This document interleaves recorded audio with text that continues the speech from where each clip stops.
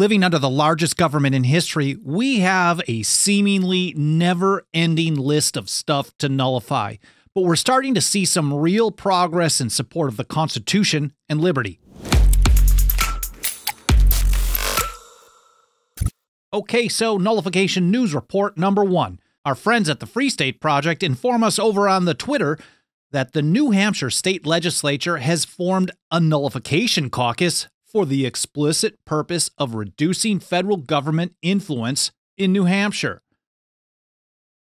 If you would have told me 10 or 15 years ago that nullification would get so popular in my lifetime that there'd be a nullification caucus pretty much anywhere, I would have laughed you out of the room. But I'm glad I was wrong. The first meeting of the New Hampshire Nullification Caucus will be this weekend, and it seems like they started it at a good time. We're still early in the 2023 nullification season, but so far, it looks like New Hampshire has more support for more nullification style legislation than any other state. Here are a few examples. HB 474 would ban state and local enforcement of all kinds of federal gun control, past, present, and future.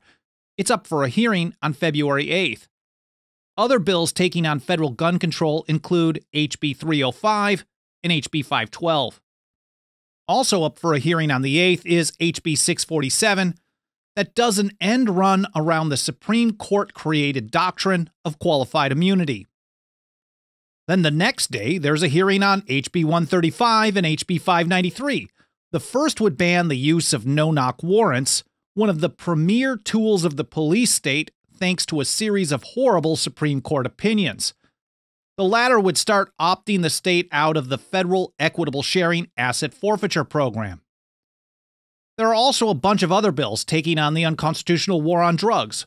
Plus, the Defend the Guard Act should get a full House vote in the next couple weeks. Then there's HB 314, a really interesting privacy bill that would ban state and local government entities from acquiring, collecting, retaining, or using any personal information, basically a lot of stuff, of any individual residing in the state of New Hampshire without a warrant in most situations. And since data collected on a state level is generally shared with states around the country and federal agencies through fusion centers and ISE information sharing environment, Banning the collection of it without a warrant also helps chip away at the national surveillance state. I'm sure we'll be reporting on plenty of nullification efforts in New Hampshire in the coming weeks and months, but make sure to follow the Free State Project for on the ground updates as well. That brings me to Nullification News Report number two. The Utah House unanimously passed House Bill 57 to expand on the already really good Electronic Information Privacy Act. HB 57 would add some pretty strong limits on geofence location tracking, requiring a warrant in most situations for reverse location information or through cell site simulators. Geofencing is a tool the founders would have called an illegal general warrant. They use location data to engage in massive fishing expeditions and subject hundreds, if not thousands, of innocent people to police location tracking. HB 57 now moves on to the state Senate for further consideration. And like New Hampshire, Utah is an interesting case study for strategy, but specifically on surveillance issues. In 2014, they passed the original Electronic Information Privacy Act and a second law to restrict surveillance by drones. In 2019, they built on this foundation to ban warrantless access to information stored in the cloud. In 2021, they again expanded the Electronic Information Privacy Act, this time to ensure police must get a warrant before accessing communication service provider networks. In 2022, they expanded on their drone restrictions to also include radar, sonar, infrared, or other remote sensing or detection technology. And if HB 57 gets signed into law this year, we'll see yet another small but important step forward for privacy and liberty.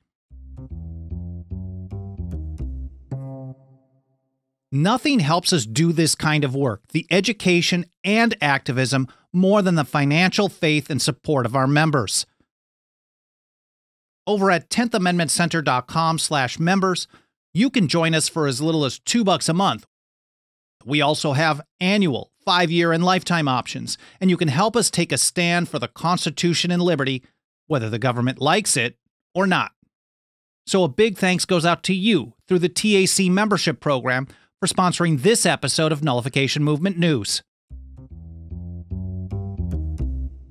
Alrighty, welcome back to the show. Last up for today, Nullification News Report number three.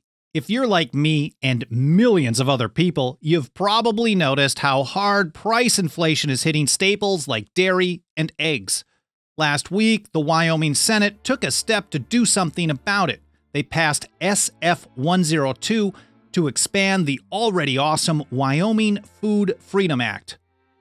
Under the original law passed in 2015, small scale producers of many food products can sell direct without having to go through all kinds of state regulatory and licensing requirements, which of course can help expand options in the market, increasing quality and reducing price.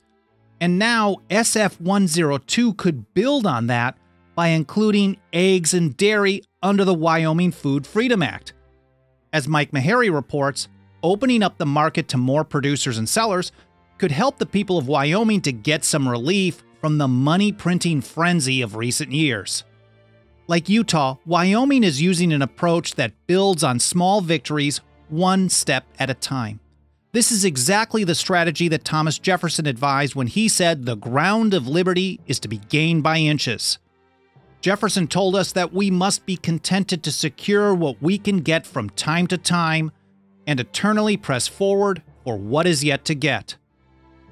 Step by step, person by person, brick by brick, state by state. We're building a strong foundation for the Constitution and liberty, whether the feds happen to like it or not.